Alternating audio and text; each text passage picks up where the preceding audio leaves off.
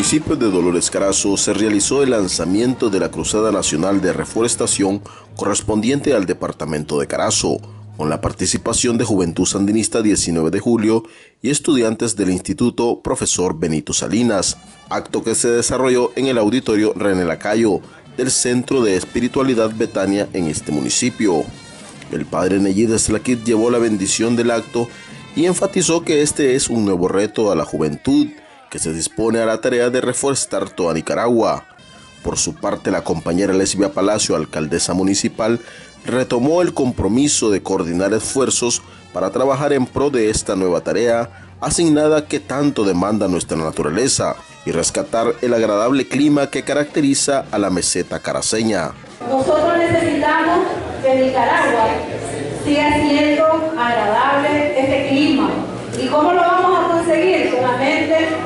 haciendo una realidad la siembra de estos árboles para que podamos caracterizarnos y especialmente aquí en Carazo.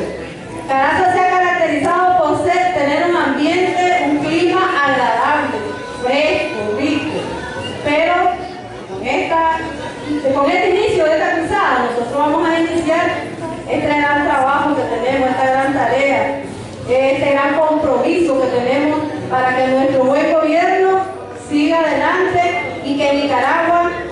Continúe creciendo, continúe en. Al finalizar el acto se realizó la siembra de árboles para dar por inaugurada la Jornada Nacional de Reforestación en Carazo. El plan de reforestación ya está en marcha y su lanzamiento se realiza en saludo al 37 aniversario del triunfo de la revolución. Francisco Rojas Andino desde Carazo para más noticias en menos tiempo.